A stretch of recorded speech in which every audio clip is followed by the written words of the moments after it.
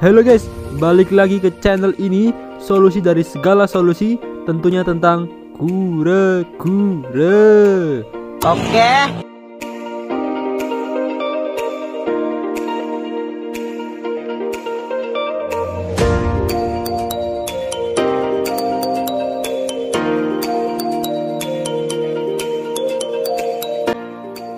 Pada kesempatan kali ini Kita akan berbagi sedikit tips Bagaimana cara memilih kura-kura yang baik dan sehat Sebelum kita putuskan untuk membelinya Hal ini tentunya sangat penting Sebab jika kita sampai salah memilih kura-kura Kemungkinan terbesar adalah kura-kura yang akan kita pelihara akan sakit dan tidak lama kemudian menemui ajalnya.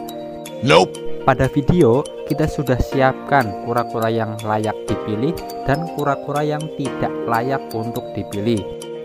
Oke, kita mulai untuk cara membedakannya. Pertama, kita lihat dari kura-kura yang tidak layak untuk dipilih. Ciri-ciri yang pertama, pastikan kura-kura tidak terdapat jamur maupun luka. Bisa kita lihat, ini merupakan kura-kura yang terkena jamur. Untuk ciri yang selanjutnya adalah mata merem maupun sayu dan terlihat lemas. Kura-kura seperti ini hendaknya dihindari karena biasanya mereka tidak mau makan. Selanjutnya, kita pindah ke bagian bawah tempurung atau plastron. Kura-kura yang sakit memiliki plastron yang lembek dan sebaiknya dihindari. Oke, lanjut lagi.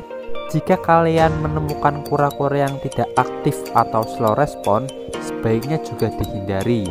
Sebab itu juga merupakan ciri-ciri dari kura-kura yang sakit dan depresi. Berikut ini gambaran kura-kura yang tidak layak untuk dipilih. Bisa kita lihat semuanya diam, tidak aktif, slow respon, seperti doi kalian.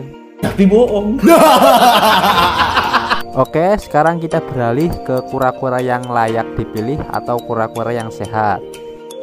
Ciri-ciri yang pertama tentunya memiliki mata yang belok, bulat, melotot, dan tidak merem tentunya. Ciri yang kedua, kura-kura yang layak dipilih memiliki respon yang aktif ketika kita sentuh.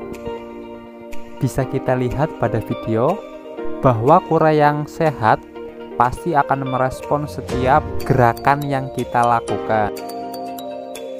Selanjutnya, kita pastikan tidak terdapat jamur maupun luka pada kura-kura.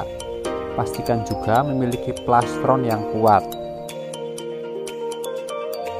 Berikut ini gambaran kura-kura yang layak untuk dipilih ya. Terlihat jelas bahwa setiap kita memberikan rangsangan atau sentuhan, pasti mereka akan merespon dengan bergerak secara aktif. Oke, cukup untuk video kali ini. Jika teman-teman ingin bertanya, silahkan tulis di komentar. Jangan lupa juga untuk subscribe, like, komen, dan sebagainya. Dan jangan lupa, jika kalian berminat untuk membeli kura-kura, silahkan order di toko kami. Untuk link tokonya ada di deskripsi ya. Sekian, bye-bye.